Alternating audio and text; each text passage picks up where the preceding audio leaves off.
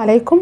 أنا نورة محمد الجيوشي أخصائية نفسية ومدربة تنمية ذاتية ومتحدث تحفيزي وأم لطفلين يعني في فيديوهاتنا إن شاء الله هنتكلم عن النفسيات والمشكلات النفسية المعقدة والبسيطة اللي بتواجهنا في حياتنا اليومية زي الاكتئاب والعزلة وغيره من المشكلات اللي بتواجهنا في حياتنا طول اليوم طول الوقت.